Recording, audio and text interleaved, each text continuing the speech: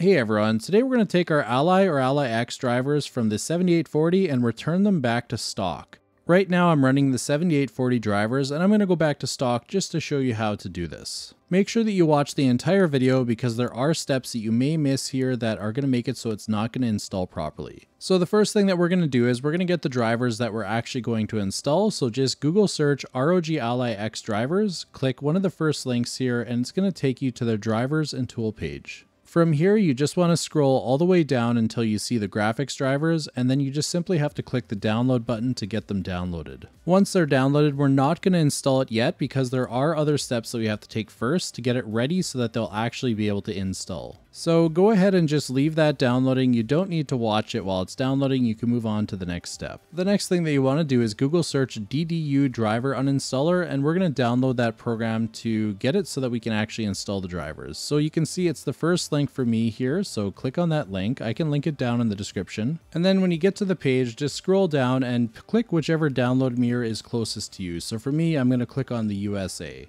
Now that it's finished downloading, we're going to go to our downloads folder and you just need to extract it. Right now it comes in a zipped folder. You can extract this with what Windows has built in or you could use 7-zip. It doesn't really matter in this case. Now you want to go into the folder that you extracted and we're going to run the application here to unzip it. So we're going to click extract and that's going to extract yet another folder. Now we can go into there and we're actually going to run the program now. You're going to get a pop-up to confirm that you want to open it, so just click yes. And then once the program actually opens up, you'll probably get a warning about going into safe mode, or if it's the first time you've opened it, you're going to get a message saying it's the first time you've opened it. What this program is going to do is it's actually going to uninstall the drivers that we had previously installed, the 7840 ones, and we basically remove all components of it. What you want to do next is go to the right and you want to click GPU and it's going to auto detect the AMD drivers. Then you just want to click clean and restart. This process should take maybe two minutes. If it gets hung up, there's a chance that you may have a Windows driver that's pending install, so make sure you take care of that first before you jump into this.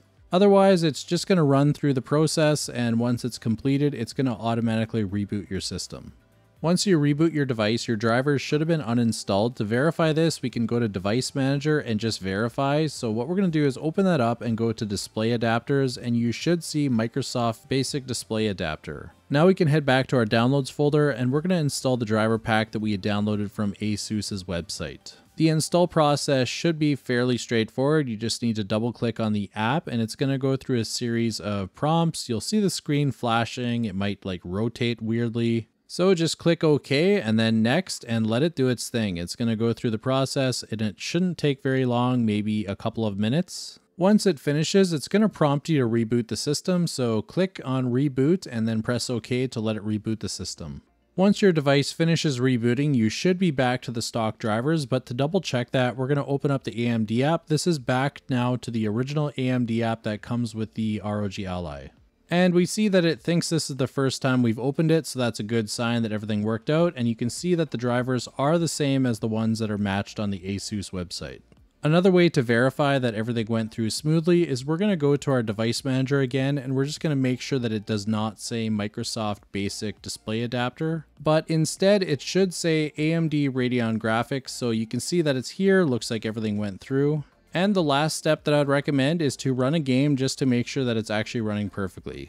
I'm going to boot up Starfield just to verify. One thing to note though is your device is going to end up recompiling any shaders that it has to do if a game requires that. So just keep in mind that when you're jumping between drivers, it's going to need to do that.